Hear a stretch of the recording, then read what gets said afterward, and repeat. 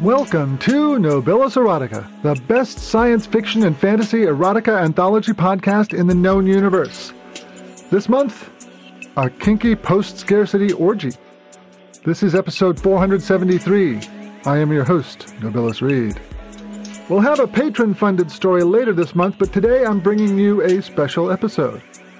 What I have for you today is the first two chapters of Hallowed Covenant a kinky story written by Franklin Veaux and Eunice Hung and narrated by Francesca Peregrine. This novel is currently crowdfunding on Indiegogo. You can find the link in the show notes. Here we go. Book 1 The Blesser 1.1 I'm not sure whether I'm hoping or dreading I'll get the cursed vial, he said. Cursed? She raised an eyebrow. Don't think of it as a curse. Think of it as an opportunity to make your evening more interesting. Many of life's trials become so much less challenging with the proper attitude, don't you think? Like, I am grateful to receive the favour of the gods instead of I must suffer while others enjoy themselves at my expense. The luxurious white sofa beneath them floated silently a handspan above the floor as the room tore itself apart around them. In uncanny silence, a flowing mass of tiny, glittering mechanical gnats swarmed over the wall between his apartment and hers, rending it into bits too small to see. Does that mean you're hoping you'll be the one to get the curse, pardon me, the favour of the gods, then? She let out a light, pure laugh. If it happens, it happens. I hope everyone will fully appreciate my misfortune. Well then, I shall pray that you are chosen to experience this boon, and if you are, I promise to do my best to help you appreciate it to the greatest extent. Thank you, darling, she said. In return, I shall pray that you are the one chosen by the gods, and if you are, I promise I, too, will do everything in my power to make your evening all it can be. They regarded each other for a moment, then giggled. He kissed her forehead. You're such a delight, Avia. Why, thank you. You're not half bad yourself. Is that why you like me? Because I'm not half bad?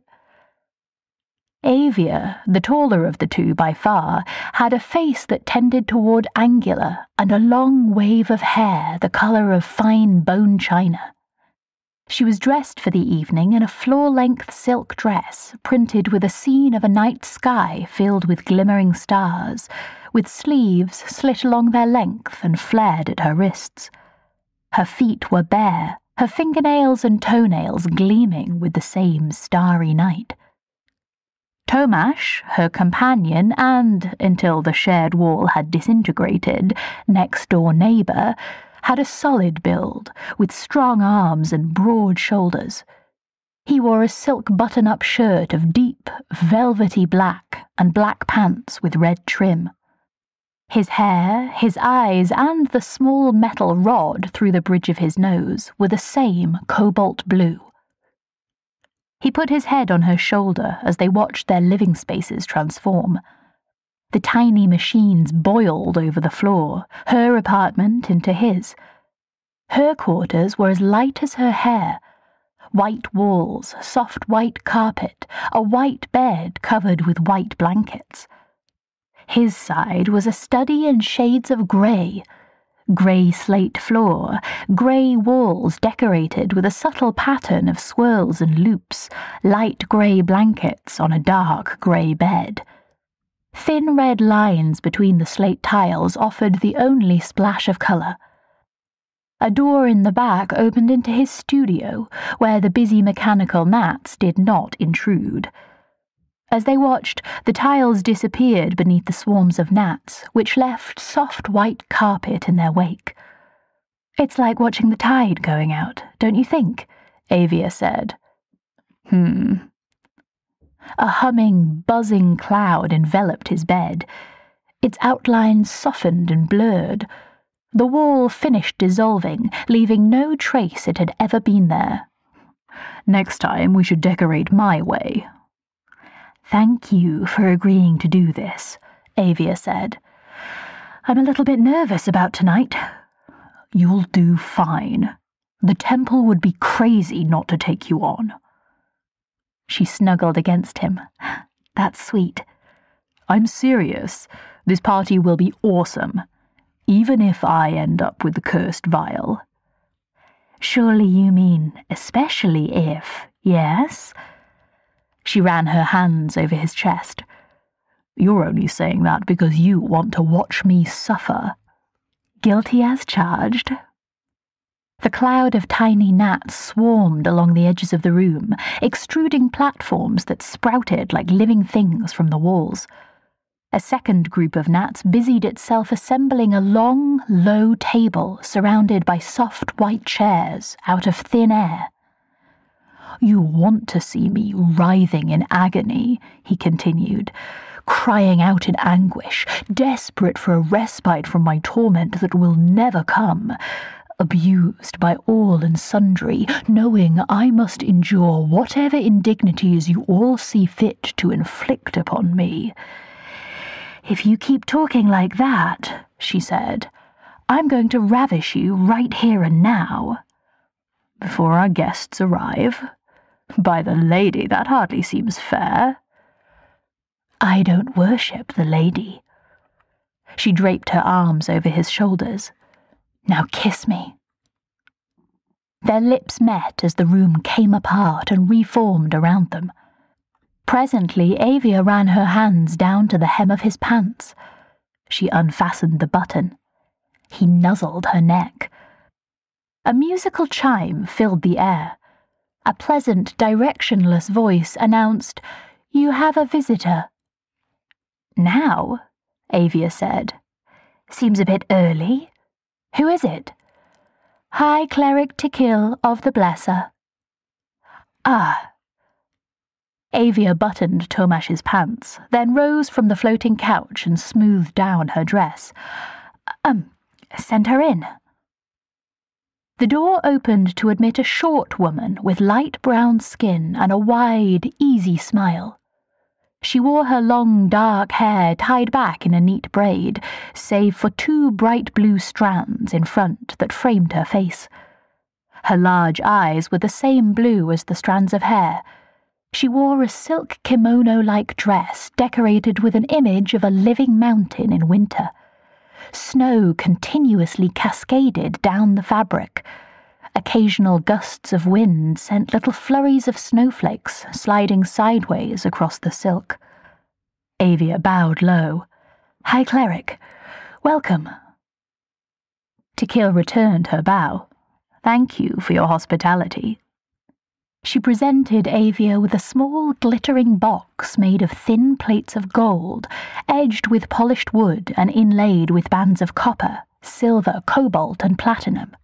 For you. Avia bowed again. Thank you. She set it on the newly created table. The cloud of mechanical gnats scurried out of her way. Please, make yourself at home.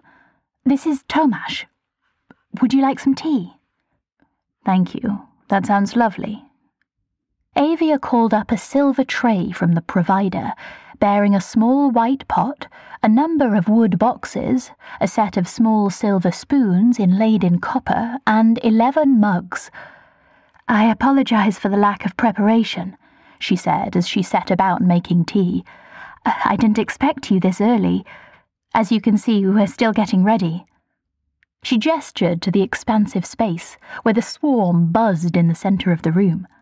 Beneath the rippling mass, a circular couch took form, surrounding a large round bed that seemed to be pulling itself from nothing. You honour me with your invitation, Tikil said. She sat gracefully on the sofa beside Tomash. I was delighted to accept. Your service to the Blesser has always been exemplary. Avia blushed, but could not hide her smile and I look forward to enjoying your hospitality. Tequil raised her cup to her lips and turned to Tomash. Tell me about yourself. I suppose I should start by saying I worship the lady, not the blesser, Tomash said. In fact, Grand High Priestess Sandian of the Lady will be here tonight. Hmm. Tequil nodded. I know her. She's lovely. I've had the privilege of offering her the Blesser's hospitality on many occasions. She smiled to herself. Avia has spoken of you during her service in the House of the Blesser. That's very kind of her. Is it? Amusement sparkled in Tequil's purple eyes. I didn't say how she's spoken of you. Does it matter? Tomash said. When you're talked about, you're making an impact. Interesting point. Tell me, what are you hoping to get out of this evening's activities? We were just discussing that, Avia said. I think we agreed he's hoping to be the one to get the cursed vial. I'm not entirely sure that's what we agreed, Tomash said. Avia laid her hand on his. You do like making me happy, right? Of course. And we agreed that watching you suffer would make me happy, didn't we? well, Tequil looked Tomash up and down. I can see why she might say that. The horde of tiny machines finished extruding the waist-high platforms from the wall, each topped with a thick mattress. The provider chimed and disgorged several large, flat bundles. Tequil rose. Avia held out her hand. Please, sit. Let me take care of the arrangements. Tequil laughed. Old habits. I fear I've forgotten how to be a guest. As Avia set to work arranging sheets and thick white comforters on the beds, the cloud of gnats flowed back into the provider, leaving behind a large circular four section couch arranged around an enormous round bed. Avia fitted it with soft white linens and a pile of pillows. That done, she called forth two large trays, each made of silver inlaid with fine lines of copper, from the provider. She set them on the table. The provider produced eleven tiny vials filled with shimmering gold liquid, which she arranged on one of the trays, and ten tiny vials filled with a pale green liquid, which she laid out on the other. When she finished, she sprawled gracelessly in one of the new chairs across from the couch. Tequil picked up one of the gold vials such a tiny thing to contain so much suffering. I look forward to seeing what happens. Even if it's you, Tomash said. Those of us who serve the Blesser are well acquainted with accommodating others, even at the cost of our own discomfort. Isn't that right, Avia? Avia inclined her head. I don't think of it as discomfort. I think of it as service. She picked up the gold box Tequil had given her. Inside, a tiny dome-shaped confection, barely as wide as her thumb, nestled on a small cushion. A shiny round berry topped the tiny layer cake, with bands of pink, white, red, blue, and brown separated by thin, glittering lines. Avia placed it in her mouth, a complex mixture of tastes, sweet and tart and spicy, flitted across her tongue. The sensation started as a warm, gentle glow that enveloped her body.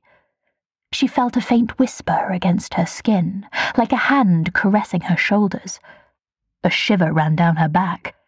She felt something warm and soft, like fine fur, wrap itself around her. A cool breeze touched her face, bringing with it the faint scent of pine trees and flowers. The wind passed, the feeling of fur against her body faded, and the faintest whisper touched her lips, like the ghost of a kiss. Mmm, that was wonderful, she said as the sensations faded. I like the kiss at the end. What a wonderful touch. Thank you, Tequil said. Avia dropped the box into the provider. Its edges flared blue as it disintegrated into dust. The black rectangle flipped closed. A soft chime sounded. You have visitors. Who are they? Tomash said. Lyrin and Yaris of the Lady. Tomash grinned. Send them in. Lyrin and Yaris seemed built from the same template, tall and slender, as though someone had stretched them vertically. Lyrin had a dusky complexion and deep blue eyes with cross shaped pupils beneath a spiky shock of indigo hair. Rows of small metal studs followed the contour of his collarbone. An intricate watercolour style painting of a desert in late afternoon covered his chest. Brilliant sunlight flooded over rocks and sand. Shimmering mirages danced across the ground. Yaris was bone pale and wore her short violet hair in a sleek bob. She peered at the world through brilliant aquamarine eyes with hexagonal pupils. Both wore only short skirts and belts hung with pouches. Her chest also displayed an intricate watercolour tattoo, a large cherry tree in full bloom. A gentle breeze stirred the tree's limbs, sending cherry blossom petals drifting across her skin. Lyrin. Tomash rose to embrace him. I'm so glad you made it. They kissed for a long, lingering moment. I love the tattoos. Lyrin beamed. Yaris designed them. Ah, Yaris, you're as lovely and talented as ever. Are you two participating in the Dance of Sacrifice this year? Yaris squeezed Tomash's hands. Lyrin is. I haven't decided yet. I just. Just what? I'm not sure I'm talented enough to be the avatar of the lady. Nonsense, Tomash said. Your gifts are extraordinary. And you're such a flatterer. Her eyes fell on the trays of vials. Ooh, which one is it? If I knew that, this evening would be a lot less fun. The chime filled the air again. You have a visitor. Who? Avia said. Have you ever noticed how it never tells you who they are until you ask? Yaris said. You'd think it would just tell you. Grand High Priestess Sandian of the Lady, came the voice from everywhere at once. Show her in, Tomash said.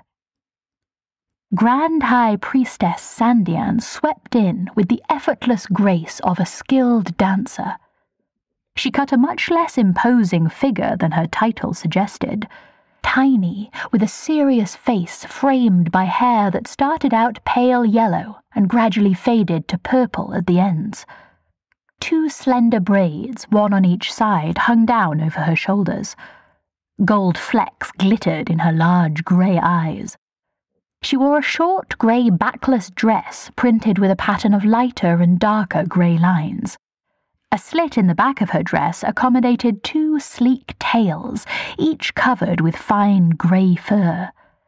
Grand High Priestess, welcome, Tomash said. Please make yourself comfortable. Thank you. She bowed to Avia. You must be Avia. Indeed. Pleasure to meet you, Grand High Priestess. Sandian seated herself beside Tequil. They embraced.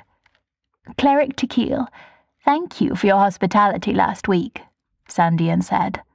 It was exquisite. Tequil inclined her head. I am pleased you found me pleasing. Avia set out more tea for the newcomers. Midway through, a chime filled the air. You have. Avia rolled her eyes. Oh, just show them in. Five laughing, chatting guests entered the newly conjoined apartments. Avia moved about them, greeting them all warmly. Novice Irene, she said to a woman with long pink hair and bright blue eyes ringed with black, dressed in a red and white kimono dress decorated with stylized grass. Novice Warden. She clasped hands with a tall, lanky man who wore long silk pants of a blue so dark they were nearly black, and a lightweight dress similar to hers. She turned to the other two men. Pate, Kavim, thank you so much for coming. Finally, she greeted the last of the newcomers. Sei, we don't see nearly enough of each other. Pate, a short, broad shouldered man with olive skin and hair that cycled slowly through white, yellow, turquoise, and green, wrapped his arms around Avia. They kissed for a long, slow moment. Avia ground her hips against him. He winked. I hope there will be more of that later. Count on it. She embraced Kavim a tall, muscular man with ebony skin and eyes so pale they nearly glowed. He wore a short red kilt and long black boots, but left his chest bare. A slender chain hung from one pierced nipple, ending in a tiny, glowing jeweled ball. I hear you're worshipping the wild these days, Avia said. He grinned at her with sharp teeth that attested to the truth of the rumours. She hugged Sei, an unassuming woman with dark hair, a shy smile, and soft hazel eyes. Sei wore a simple sleeveless dress in rich green that shimmered slightly whenever she moved. Thank you for inviting me, she said in a voice as gentle as her eyes. I know I'm not around often. I feel like a terrible friend sometimes. Nonsense, Avia said you are always welcome whenever you have time. Everyone, please make yourselves at home. She set out steaming mugs of tea for each of the guests and Tomash. Only after she had served everyone else did she settle into her chair. Thank you all so much for helping us celebrate the arrival of spring. Let me go over tonight's first day party plan again. She gestured at the tray of golden vials, all but one of these contain a small dose of Blessing of Fire. One contains a large dose, combined with the Blessing of Enticement, which means whoever gets it will be incapable of orgasm until he or she receives the antidote. Which brings me to the green vials. One of them contains the antidote. The others do nothing at all. When we discover who has the special vial, the rest of us will each take one of the green bottles. At that point, it will be up to the lucky or unlucky winner to negotiate with each of us for what might or might not be the antidote. You are, of course, free to set whatever price you like. I encourage you all to be creative. Does everyone agree to these terms? The guests all nodded. Sei rubbed her hands together. Kavim grinned. Do you know which one is which? Pate said. What fun would that be? Avia said. All of us, priestess or novice or worshipper, take the same chance. She moved around the table, offering the tray to each of the others, beginning with High Cleric Tequil. Everyone take a gold vial, and we'll all drink. By the time she reached Tomash, only two bottles remained on the tray. Tomash picked one of them, examined it closely, then set it back down and picked up the other. Avia took the last remaining vial. She removed the tiny glass stopper and held it up. The party doesn't end until the antidote is delivered, she said. That might happen right away, or it might not. We place ourselves in the hands of fate. I'll drink to that, Kavim said. They all raised their vials in salute. With a barely perceptible hiss, the door vanished, leaving only blank wall behind.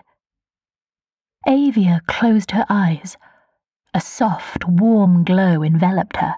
She relaxed into it, letting the sensation wash over her. Sei and Irene sighed. When Avia opened her eyes again, she poured more tea for the guests. A sense of expectant waiting settled over the group. Kavim examined his empty vial. Mmm, this is nice. When will we know who got the special one? Soon, I expect, Avia said. So, tell me about the wild. Kavim grinned. It's fun. You should worship with us. I've always thought you'd be a good fit. We have the best parties.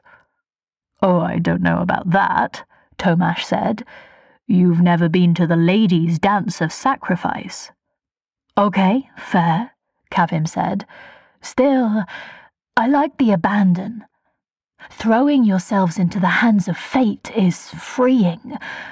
Most of the other temples are so stuffy, you know. Uh, no offence, he added hastily. High Cleric Tikil, Grand High Priestess Sandian. None taken, Sandian said. I worshipped the wild when I was young. Many followers of the lady have. Oh. Her eyelids fluttered. Mmm, I feel warm. You're right, this is nice. I've only worshipped the lady, Tomash said. Even when I was young, she spoke to me. I've never wanted to explore any other religion. Have you ever gone to any of the other temples? Sei said. A few times. I visited the Garden of the Quickener for inspiration a time or two. Avia snorted. Tomash laughed. Or three.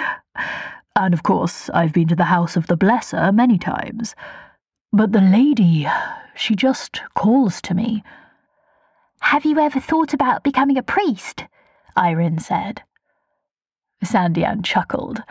I think he'd do well in formal service to the lady, but it's like trying to reason with a brick. This one's stubborn. She took a sip of her tea. I've encouraged him to. to. Her hand trembled. Oh, she said, I feel. Uh. Her pupils dilated until they swallowed up her eyes, then constricted down to points. I. I. Her hardening nipples pressed against her dress. I. Her voice trailed off. Her eyes stared at an empty point in space. One hand slid up to her breast and squeezed, as though on its own. Then she blinked and shook herself. Warden leaned forward, watching her. Yes, priestess, he said. Pate raised his mug to hide his smile. It's nothing, Sandian said. I just. Where was I? She looked around. Without warning, her hands clutched at the cushion beneath her. Her body shuddered. Avia basked in the warm golden glow while she watched Sandian writhe. Should we? Warden said. Patience. Tikil said. Avia poured herself more tea. She savoured it without haste, inhaling the spicy aroma. Kavim slid onto Pate's lap. Pate kissed the back of his neck. Irene sipped her tea delicately while she stroked Warden's hair. Sei watched Sandian with an enigmatic smile. Sandian moaned. One of her tails coiled tightly around her leg, the other wrapped around her body. The fur on the ends poofed up into balls.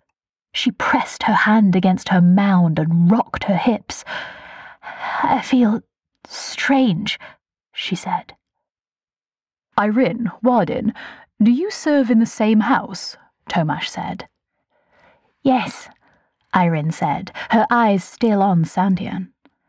She ran her fingertips lightly over Warden's neck. It has its advantages. Warden smiled up at her. When Avia finished her tea, she circled the room with the tray of green vials, offering one to everyone except Sandian. Once everyone had chosen a vial, she kept the last for herself. Sandian caressed herself openly, oblivious to the others. Her tails tightened around her. I bet she can do interesting things with those tails, Warden said. She can, Lyrin and Tomash said simultaneously. Tikil laughed. Avia gathered the trays, pot, and mugs from the table and fed them into the provider. She undressed and slipped her clothes into the provider after them. When she turned back to the couch, Sandian and Tikil were locked in a deep kiss. Sandian's tails coiled around Tikil, holding her close. Tikil chuckled. This is an interesting bit of turnabout, she said. I think I like it. Grand High Priestess Sandian, may I have the pleasure of undressing you? Yes, Sandian husked. Tikil took her time, lingering over the straps at Sandian's shoulders. She ran her hands down Sandian's body, taking the dress with them. She bent to remove Sandian's shoes. When she rose again, she unfastened the sash around her own waist and allowed her dress to fall. Irene and Warden slid each other out of their clothes. When they were both nude, Irene sidled up to Tomash. May I? Please. Irene unbuttoned Tomash's shirt with careful attentiveness.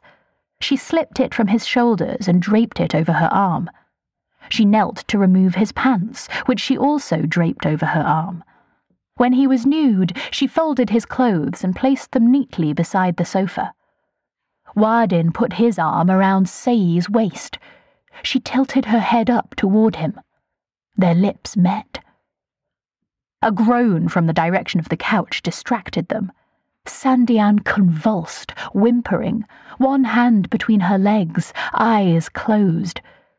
Tikil ran her fingers lightly over Sandian's body, caressing her with exquisite gentleness. Please, Sandian whispered. Please. What are the odds a Grand High Priestess would be the one to pick the wrong vial? Warden said. Surely you mean the right vial, Avia said. And the odds are one in eleven, just like the rest of us. Fate is the great equalizer. Irene draped an arm around Tomash.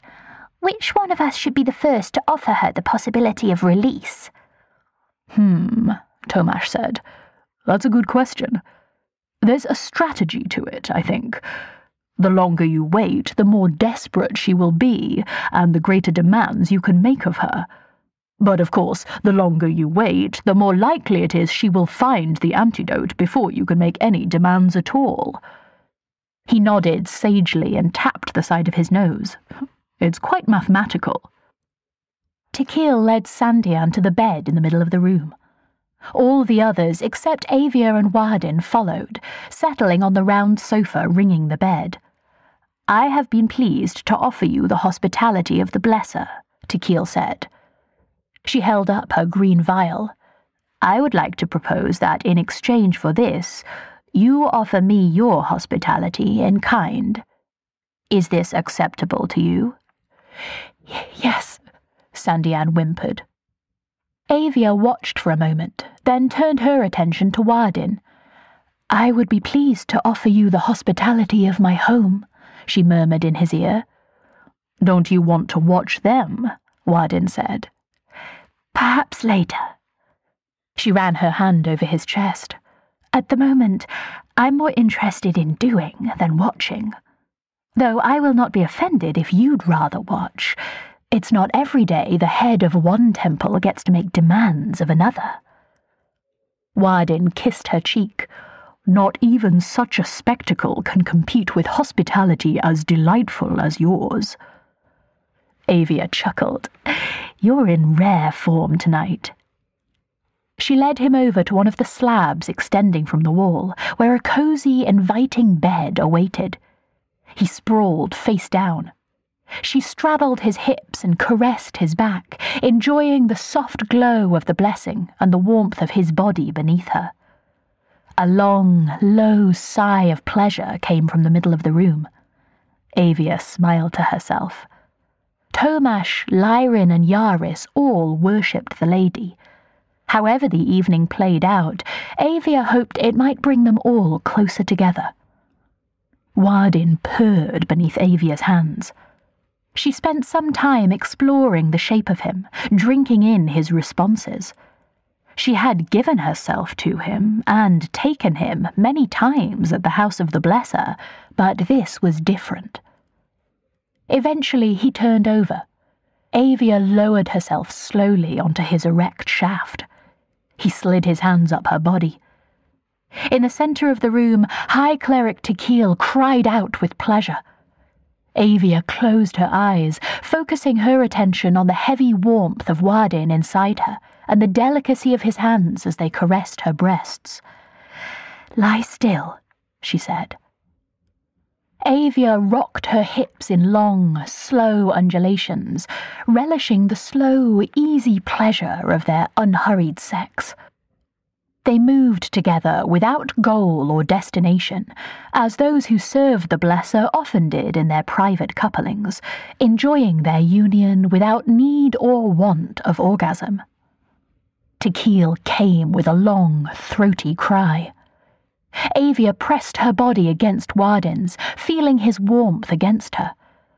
They kissed slowly for a long time, luxuriating in one another, while a second crescendo of cries came from the centre of the room. Hmm, thank you. You are delightful, Warden said. They kissed once again. Then Avia lifted herself off him and rose from the bed. Warden followed after her.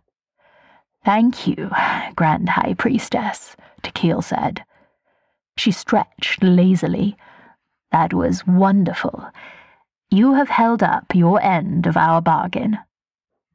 She passed the tiny green vial to Sandian, who uncapped it and swallowed its contents greedily, eyes closed. A moment later, she let out a wail of frustration. Tikil kissed her one more time. Perhaps you will find better fortune soon. Warden sat down on the bed beside Sandian. Grand High Priestess, would you like my vial? I require little of you in exchange, only your passivity. When we serve the Blesser, we learn to be still within ourselves. I wish for you to become nothing but a pleasure object. You will not move or speak you will remain in any position I place you in, and allow me to take pleasure from your body. He ran his fingers over her shoulder. She trembled violently. Do you accept my terms? Yes, Sandian whispered. Warden leaned close and kissed Sandian's lips. He pulled away when she returned his kiss.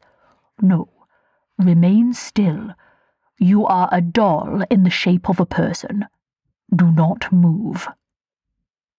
He kissed her again. Sandian remained motionless, mouth parted slightly. Warden ran the tip of his tongue over her lips. Yes, like that, he murmured into her neck. Be my plaything, not a priestess, not a person, just a thing. Avia wandered over to the curved couch next to Lyran and Yaris. The sun in Lyren's tattoo had settled slightly, following the course of the real sun in the sky. Lyren kissed Yaris's shoulder. One hand moved up to cup her breast. She ran her fingers lightly over his arm, watching Warden and Sandian with hungry eyes. A gust of wind scattered cherry blossoms from the tree on her chest. Some of the petals floated across Lyren's hand and drifted down his arm, where they came to rest on the desert ground. On the other side of the bed, Tomash sat between Kavim and Irene, running his hand through Kavim's hair. Irene wrapped her arm around Tomash and rested her head on his shoulder. Sei stripped off her dress and caressed herself, eyes sparkling, as she watched Sandian offer herself up to Warden's use. Pate beckoned to Avia. She sat down beside him and draped her legs over his lap. He stroked Avia's leg idly while he watched the priestess give herself to the novice. Warden continued his slow, exploratory kisses. Sandian remained perfectly still, save for a slight tremor in her body and a tiny fluttering of her eyelids. He kissed her lips over and over. Eventually, he pressed his fingers into Sandian's mouth and pried it open. He formed her lips into an O, then moved her arms behind her and positioned her so she leaned backward on the bed. He kissed her lower lip. She froze, still as a statue. Warden stood on the bed.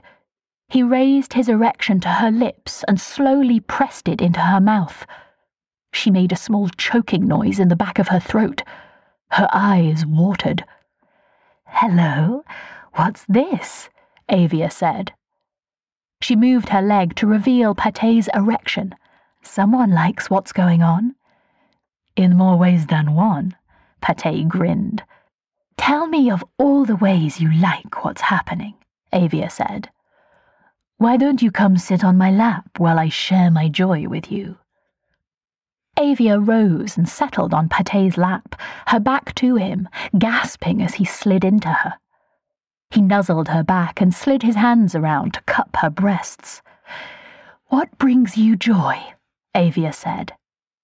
Being inside you, kissing you, watching what Novice Warden is doing. Avia watched Warden slide slowly in and out of Sandian's mouth. Look how she's drooling. She looks so helpless. Pate stroked Avia's nipples with slow, delicate touches. She leaned back against him, eyes still on Warden and Sandian. High Cleric Tikil settled onto the couch beside Sei. Sei made room for her with a smile. Tikil murmured in Sei's ear. Sei blushed and nodded. Tikil nuzzled Sei's neck as she slid her hands over Sei's body.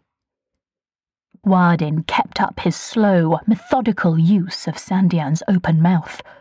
Drool flowed freely down her chin to drip onto her breasts.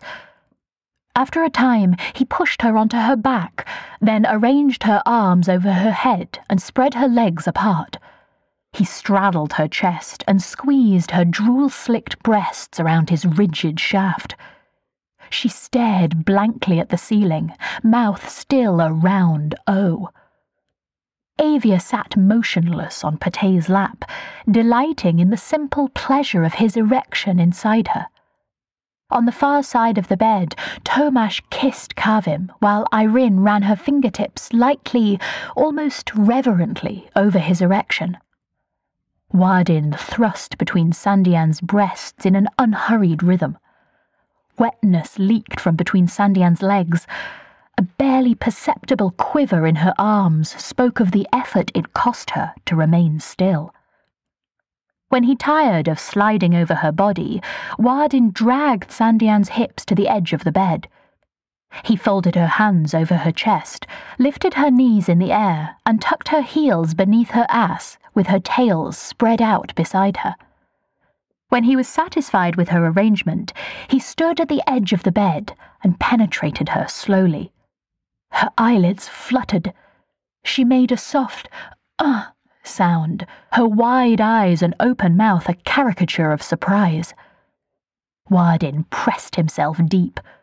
He placed his hands over hers, directing her to grope herself while he slid slowly in and out of her.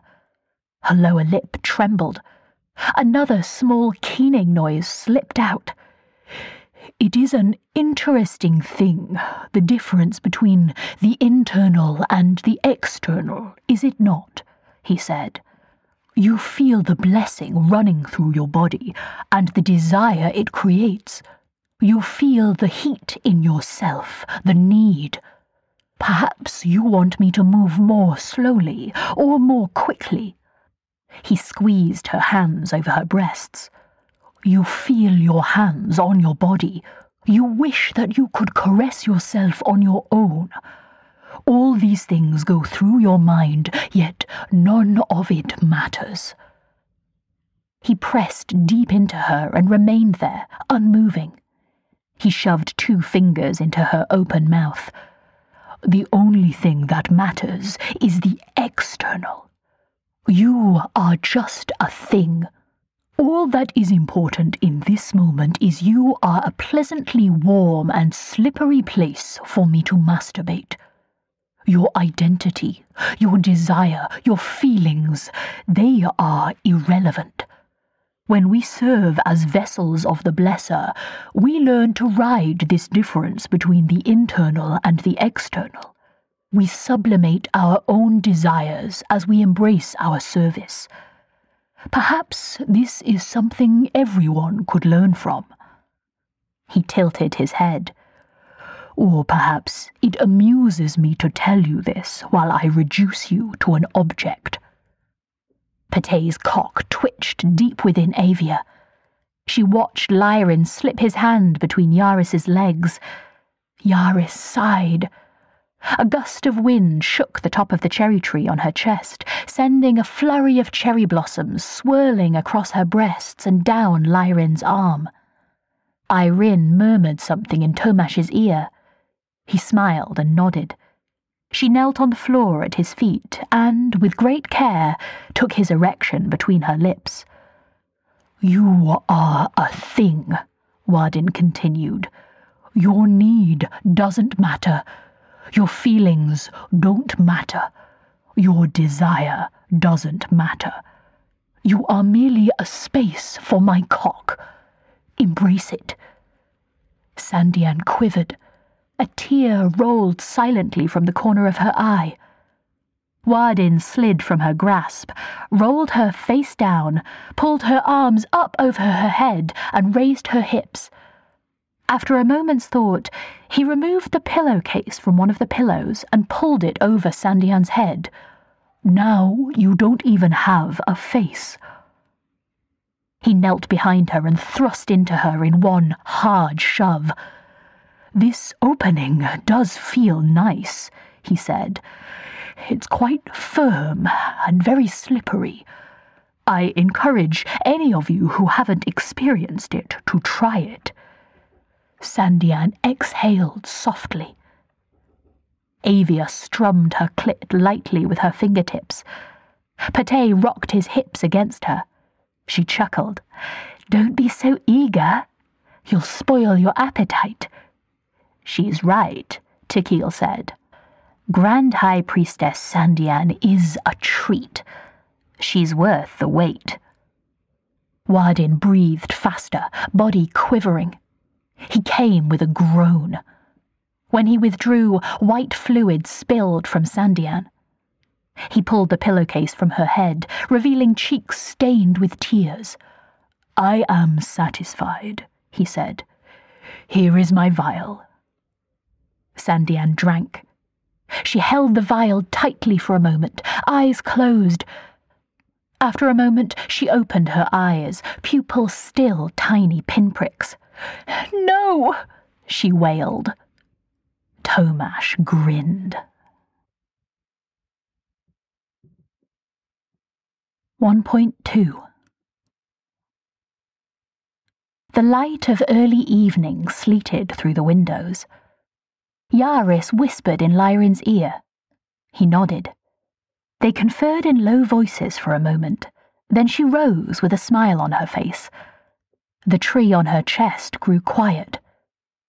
She bowed low. Grand High Priestess, she said, will you permit me the honor of negotiating with you for my vial? Sandian sat up and wiped her eyes. One of her tails curled protectively around her waist. The other peeked up over her shoulder, quivering slightly. Yes, she said with a tiny quaver in her voice. Thank you, Grand High Priestess. Yaris walked around the bed, examining Sandian from all angles. You have a lovely body. I am surprised you do not decorate it. It would make a nice canvas, I think. She stood at the provider for a moment, flipping through holographic projections. The blank black door flipped open. Yaris showed Sandian the small tool she'd called up. It had a long, slender, curved handle of white ceramic inlaid with a delicate filigree of gold and a tiny triangular blade at the end.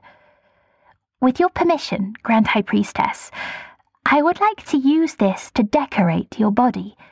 It will make light scratches on your skin. She took Sandian's hand in hers and ran the tool over Sandian's inner wrist. A pink welt rose behind it.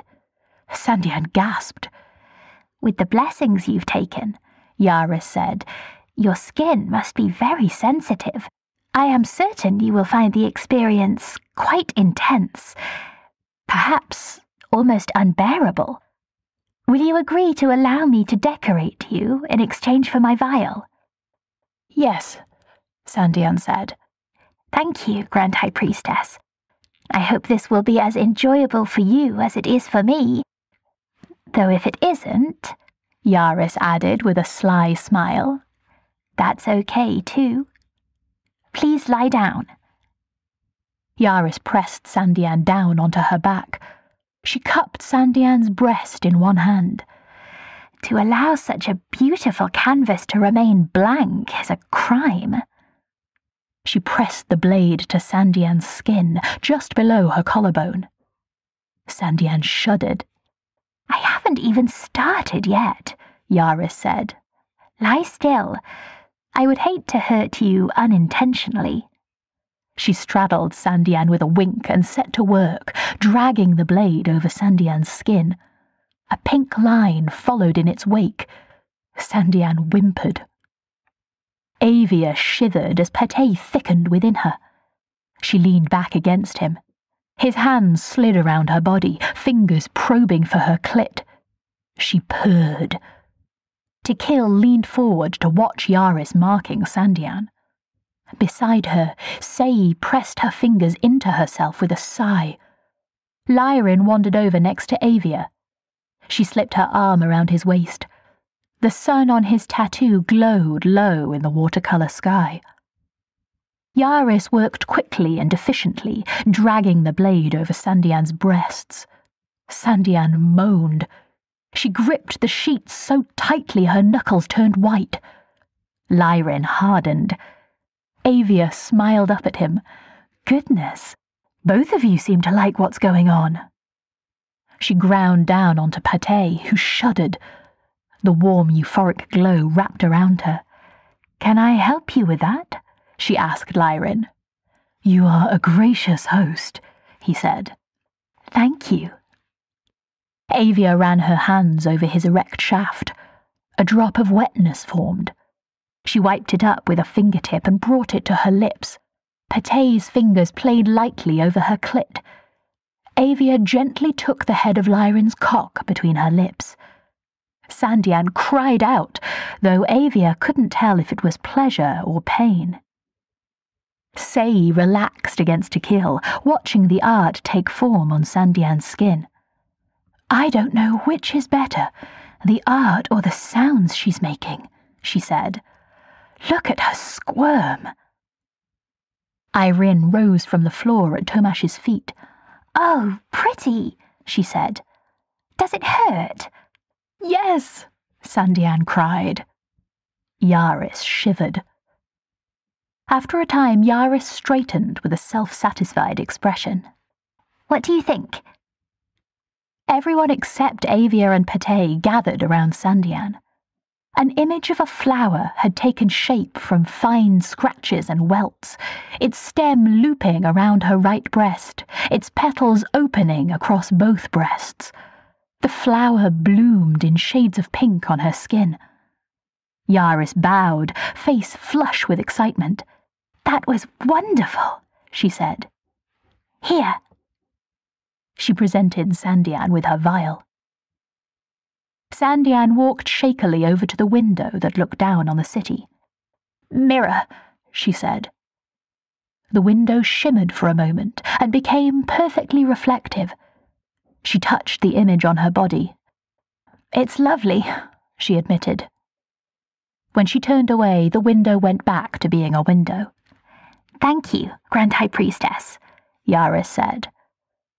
Sandian uncapped the vial and drank. She closed her eyes for a moment, then shook her head.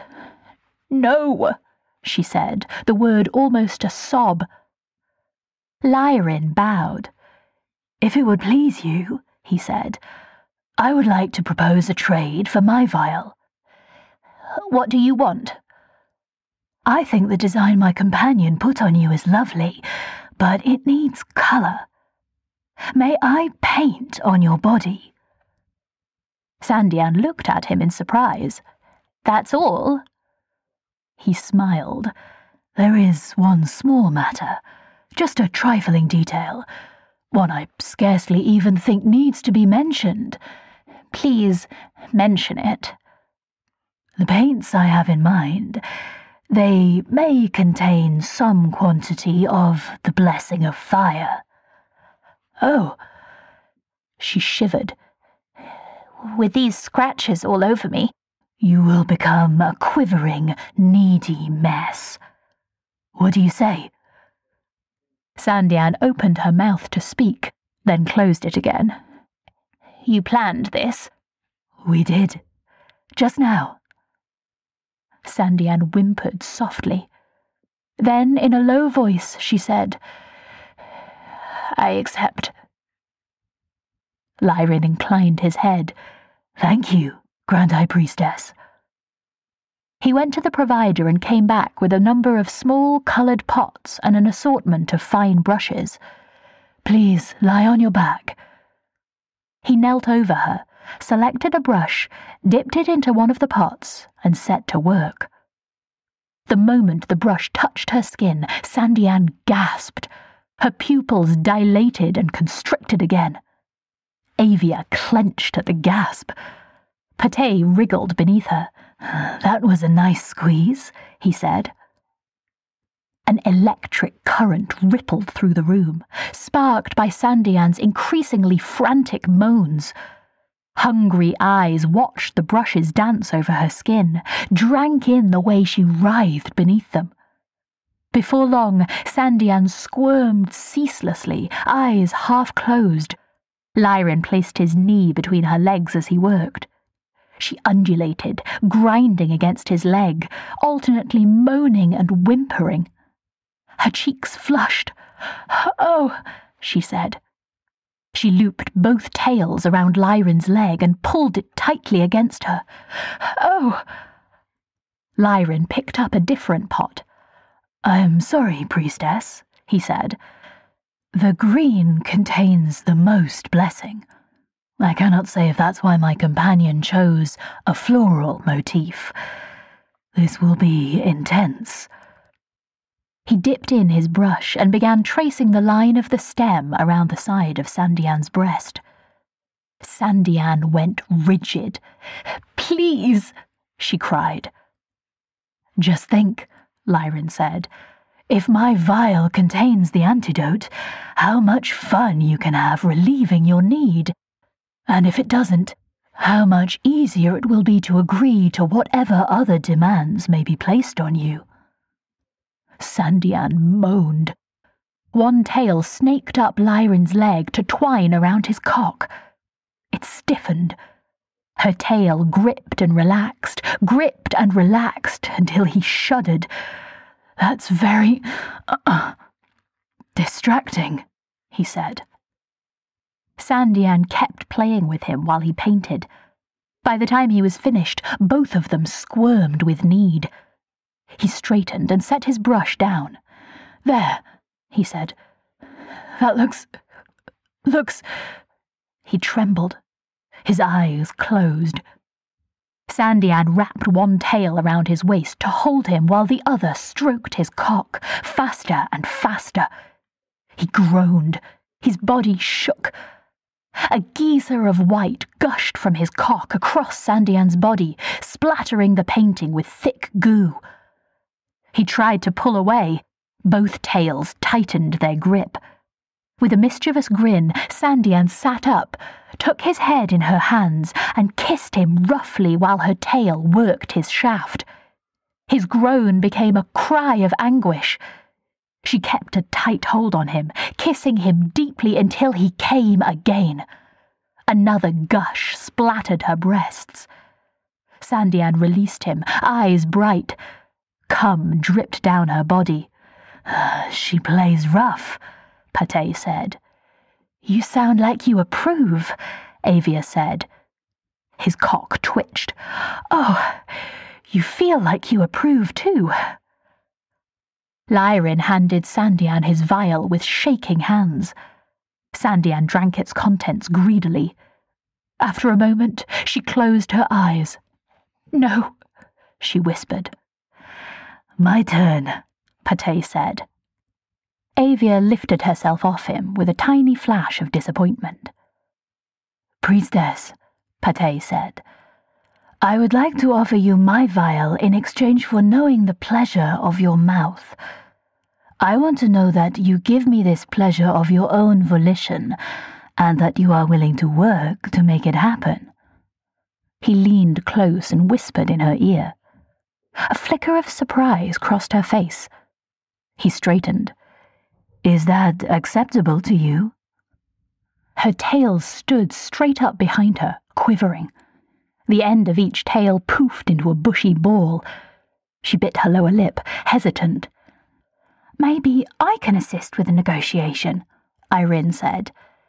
Priestess, I do not know what he is suggesting, but if it will help you decide, I would be pleased to offer you whatever pleasure I may while you service him. Assuming this is allowed by Pate and our host, that is. Avia smiled. It is. Most definitely, Pate said. I. Sandian looked down. Very well. I accept. Pate beamed. Excellent. He summoned a metal ring and two coils of rope from the provider. He pressed the edge of the ring against the wall. Blue light crackled around it as it bonded to the wall. Tomash raised an eyebrow in Avia's direction. She shrugged.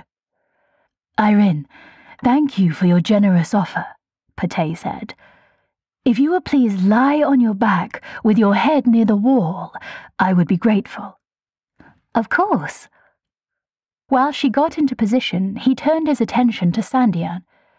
Priestess, please place your hands behind your back. He bound Sandian's wrists with one of the ropes, then wrapped the other loosely around her neck. He led her to where Irene lay on the floor. Please kneel. Sandian knelt, straddling Irene's face. Globs of warm goop slid down her body. Irene wriggled. Pate tied the end of the rope around her neck to the ring that was now fused with the wall. When she was secure, he stood in front of her, erect cock still glistening with Avia's juices. He bowed. Priestess, if you please. Sandian parted her lips and leaned forward to take him into her mouth. Irene slid her tongue between Sandian's folds. Sandian moaned. The rope tightened around her throat. Her moan ended in a strangled choke. Her tails curled around Irene's breasts. She strained to bring Pate deeper. He backed up until the rope constricted her neck when she took him entirely in. Make me come, he said. Sandian bobbed her head on Pate's shaft. With each stroke, she made small, gagging, choking noises as the rope pulled tight against her throat. Irene's tongue danced over her clit. Pate caressed Sandian's hair. Deeper, priestess, he said. Show me how much you want to pleasure me. Sandian undulated her hips on Irene's face. Irene moved her tongue faster. Sandian forced her head forward, taking Pate deep, coughing and gasping. Pate remained still, letting Sandian do the work. She flung herself into the task with enthusiasm. Drool spilled from her lips as she choked herself for his pleasure, grinding against Irene's face with frantic urgency. Avia watched with hungry eyes. She stroked her clit lightly, basking in the little ripples of pleasure that vibrated through her. She drank in every detail.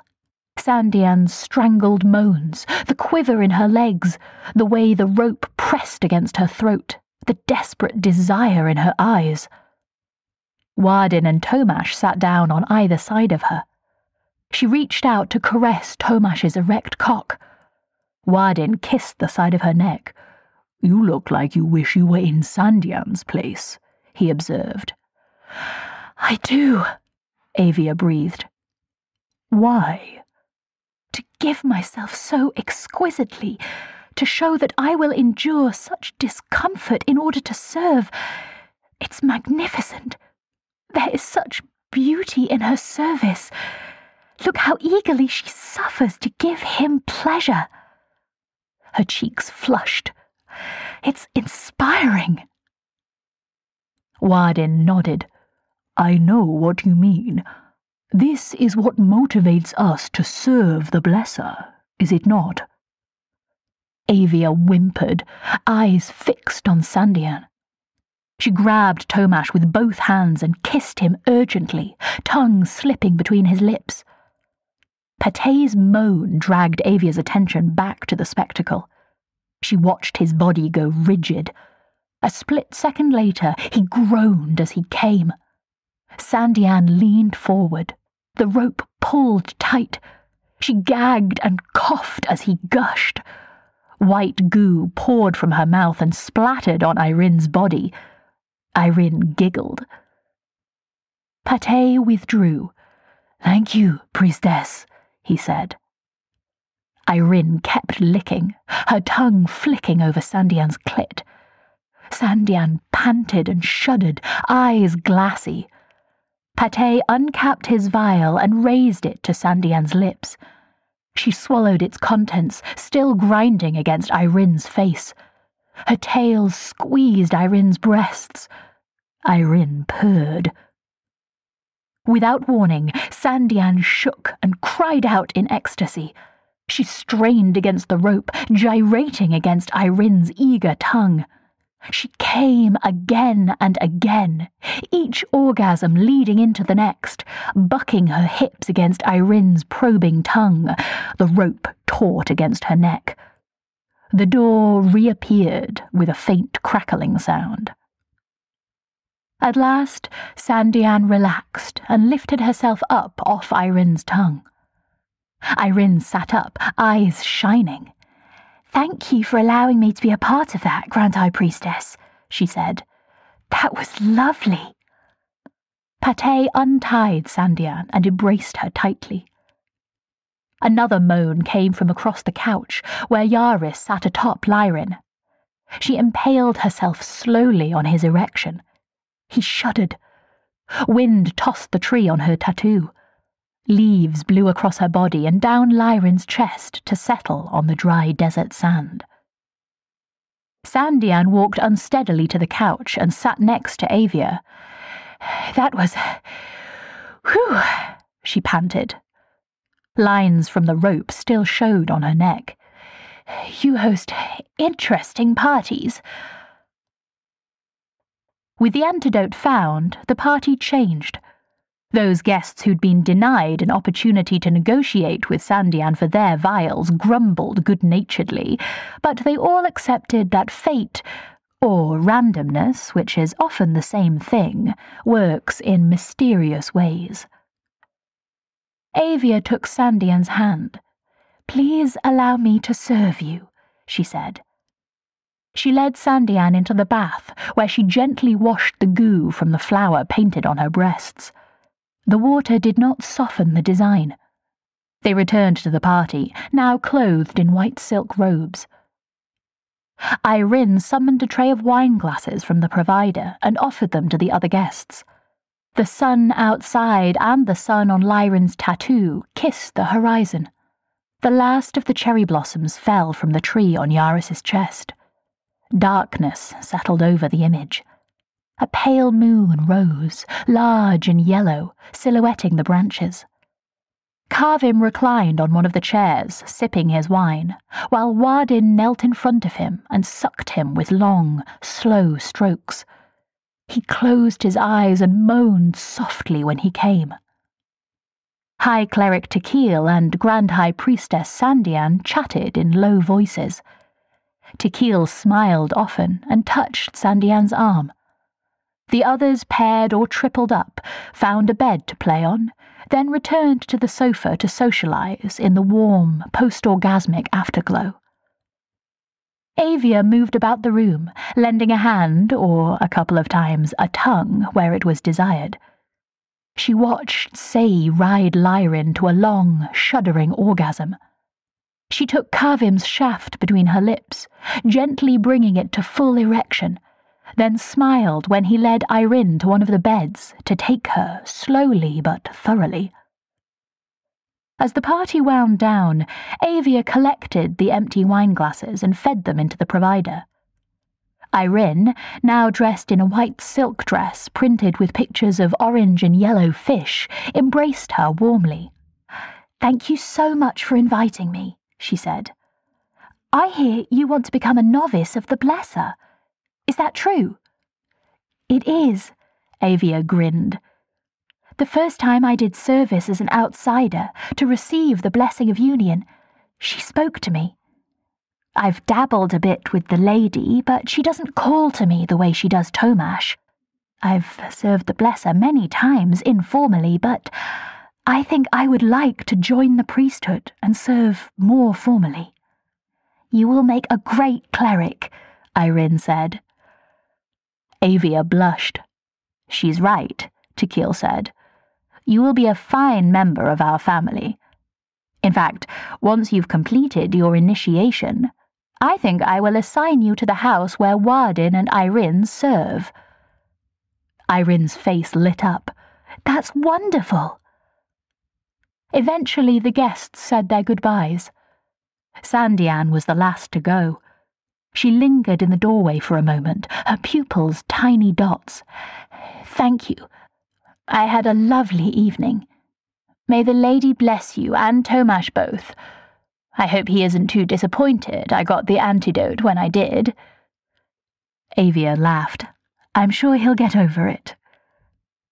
They embraced for a lingering moment, then Sandian departed, leaving Avia and Tomash alone. That went well, Tomash said, though I'm a bit sad I didn't have the opportunity to barter with Sandian. Oh? Avia said. What would you have bartered for? Oh, you know, I'd have thought of something. I like what Warden did, turning her into a sex doll.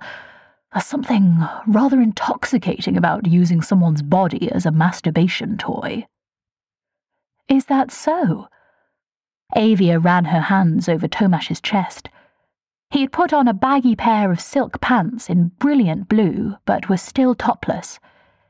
Is that what you were doing the night we met, when I was performing service to the Blesser? Were you just using me to masturbate? Of course not, Tomash exclaimed. I was using you for good luck, too. Did it work? I met you, didn't I? Touche. She drew closer. Is there anything I can do to assuage your disappointment? I don't know. Is there? Avia smiled a lazy smile. She let her fingertips play over the bulge in his pants. I'm feeling very accommodating this evening. I would like to think I might be a satisfactory pleasure object. She let her robe slip from her shoulders. Feel free to release whatever lingering frustrations you may have on or in my body. Tomash spun her around with a growl. She offered no resistance as he dragged her to the window and pressed her against the smooth glass. Three stories below them, the city spread out in the late evening darkness. Here and there, drone lights bobbed, escorting people along the walkways. Light streamed out around her into the gloom. He forced his hand between her legs. She spread them with a moan. He held her pinned to the window and thrust into her from behind, forceful, insistent. Avia cried out at the shock of his entry. Down below, a few drone lights halted where people stopped to watch. Avia relaxed into the ravishment, meeting his roughness with compliance, lost in the lingering warm glow and the feel of his demanding, insistent cock inside her. He bit her neck as she pressed back against him. Far below, a crowd gathered. Avia purred. Tomash came with a howl. Warmth flooded into her. When he was finished, he released her and slid free. Avia knelt at his feet in front of the window. She raised his softening cock to her lips and, with exquisite care and gentleness, licked him clean. You are in an obliging mood tonight, Tomash said. I am. Avia caressed his hips. She took the head of his cock between her lips. Slowly, with patience and persistence, she built him up again, using her lips and tongue to coax him back to arousal. Would you like to pleasure yourself with me again? Tomash grabbed a handful of her hair and half pushed, half dragged her to one of the beds. She let out an oof when he shoved her onto the bed. She parted her legs. How may I be of service? He threw himself onto her. A moment later, he entered her once more. Avia sighed as he impaled her. She wrapped her arms and legs around him, holding him close. Yes, like that. She ran gentle hands up his back. Pleasure yourself with me. Use me like you did the first night we met. Do you remember? I was doing service to get the blessing of union for a party. You came into, oh, into the house to receive the favour of the blesser. You saw me there. Tomash thrust faster, panting. His eyes glazed. He groaned. Yes, Avia said. There it is. Make me the instrument of your pleasure. Yes. Tomash roared. His body shook. Avia held him close as he spent himself in her. When it was over, she rolled on top of him, still joined with him. She leaned over to kiss his lips. I was delighted when you came back the next night, and the night after that, she said. When I was finished with my service, I was surprised to hear from Cleric Benjen. He said you were so shy when you asked him if he would give me a message from you. She rocked her hips in small motions, careful not to dislodge him. You seemed happy when I called you. Hmm, I was, Tomash said. He ran his palms lightly over Avia's breasts. You're amazing. I think you will make an excellent priestess of the Blesser. Cleric, Avia said. Ah, right. I've always wondered about that. What's the difference? Many of those who feel called to serve the Blesser do not fit so neatly into priest or priestess.